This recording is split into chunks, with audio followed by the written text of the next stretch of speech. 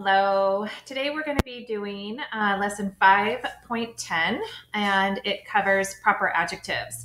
So when you think about proper adjectives, I want you to think about some proper nouns. So what is a proper noun?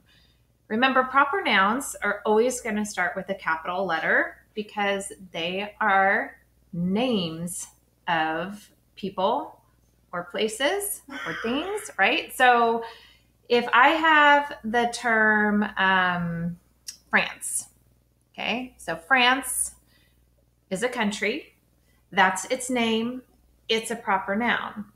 But if I want to describe something from France, so let's say I have um, the language that people speak in France. We don't say they speak France, we say they speak French right? That is the language that is spoken in France.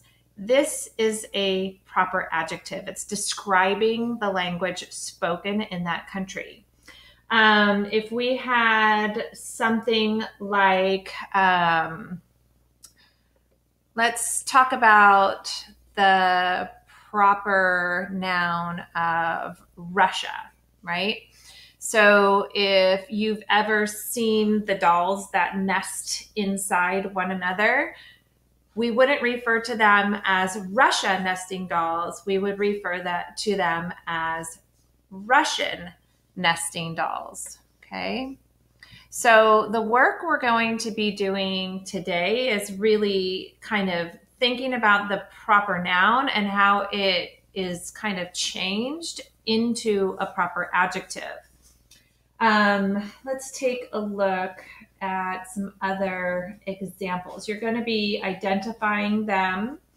So if we had, and it's really going to be country driven today. So if we had um, Australia,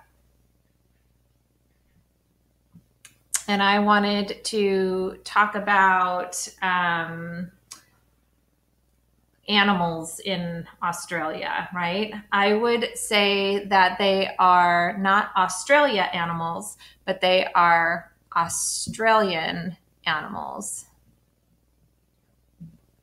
All right. So you'll often see this IAN ending, but not always, right? We have France to French, we don't call them Frenchians, right? That would sound kind of odd. We call them French. And there are other examples too, like if we take a look at Switzerland.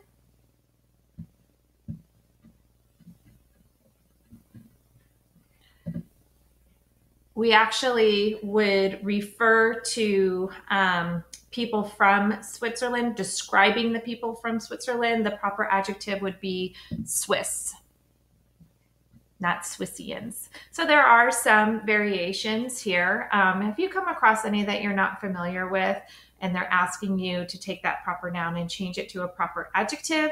You might want to just ask your parents. I'm sure there's a few that um, don't uh, switch over into this proper adjective form in a familiar way for you, but most of them you should be um, in good shape on. And um, really that's what you're going to be doing. You're going to be picking them out in sentences and identifying them. You're going to um, take some of the proper ad, the proper nouns and then change them into their proper adjective version at the bottom of the worksheet. Okay, um, and that's it for today. I'll see you next time.